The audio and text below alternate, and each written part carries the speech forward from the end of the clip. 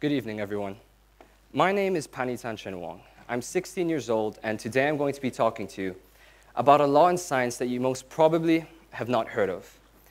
And although science may be seen as magnificent to some and colorless to others, I feel that this law captivates curiosity and appeal to both, and even to those in between, as its concepts truly surround our everyday lives, as it is not only a fundamental law in science, but also a fundamental law in nature.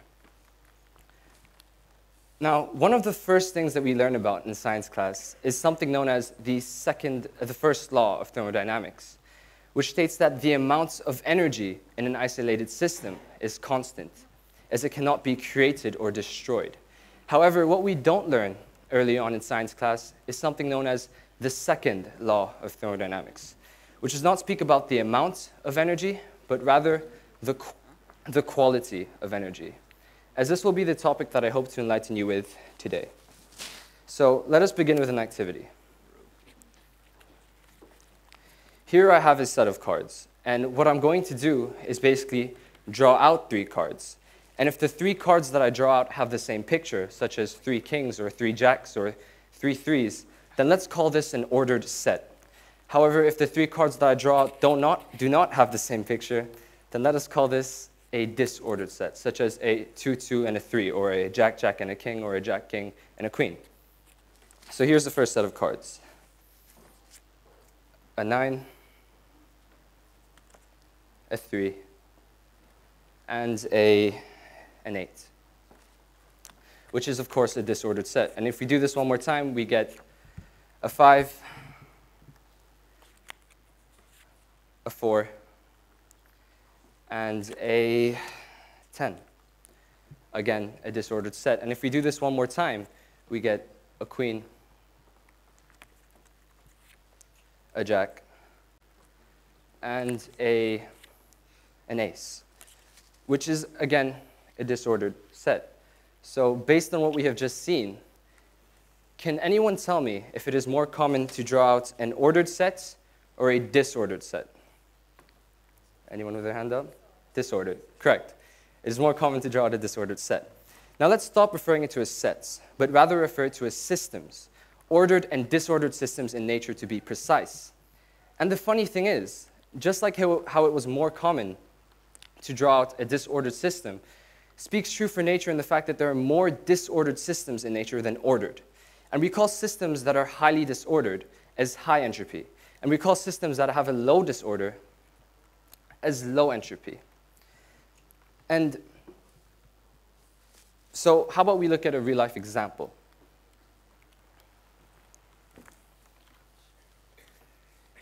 Here I have a cup of ice cubes.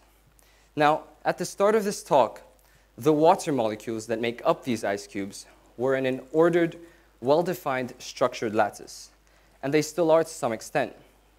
However, without any interference, its natural tendency as time passes is for these water molecules to move towards a state of less order. And this is why we can see that the ice cubes are slowly turning into a liquid, hence the dripping. In other words, their, let's say, randomness increases, and so does their entropy, a term I'm about to explain, as what is happening inside this cup of ice cubes at this very moment illustrates the second law of thermodynamics in a nutshell, a movement towards this order. So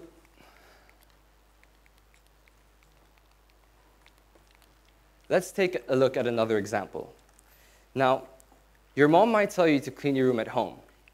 However, my excuse for not doing so is the law of entropy. You see, your room will only keep getting messier and messier as your items will be placed in a more random way if you don't do anything about it.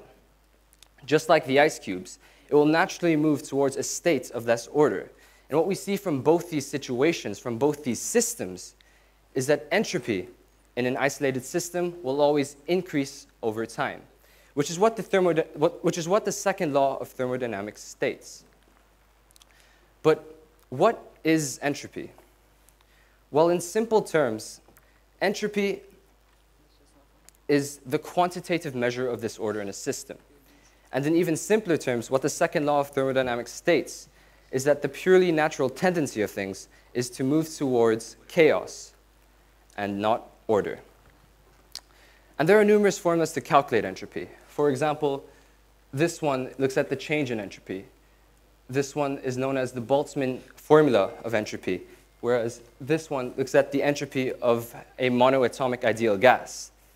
Now, don't be scared if you don't understand any of this, because frankly, I don't either.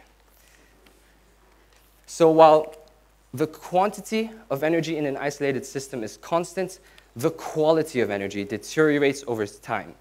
As entropy increases, the amount of energy available to perform work decreases. And this whole idea of entropy is one that provokes fear and admiration from scientists all around the world. Because why would any scientist want to quantify, want to measure a ghost like concept that is impossible to see or touch?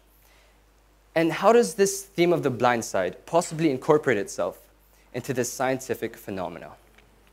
Well, as previously mentioned, this law of entropy surrounds our everyday lives, as it is the reason that in nature, this